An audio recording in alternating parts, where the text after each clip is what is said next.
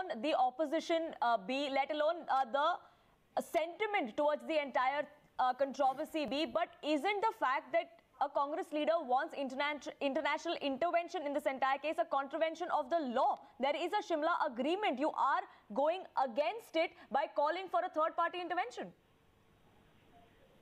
Thank you for the question. Please allow me uninterrupted time. The way abrogation of 370, 370 have happened, it is a law now.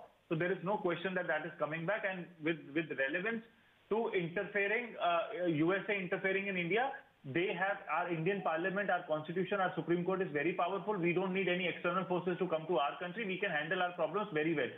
Similarly, we don't need to go to other other countries and say that Abki baar Trump Sarkar. Neither they have any business in our constitution, nor do we have any business in their democracy. So we should also maintain that kind of democracy ethic when we go to other countries and say that baar Modi Sarkar, this will create diplomatic problems when there is going to be a change in the government, which have happened now. So we don't know the repercussions which which in the future the, the new prime ministers in the future whoever will be coming should make sure that we should never interfere in the saying, diplomatic affairs of any other country.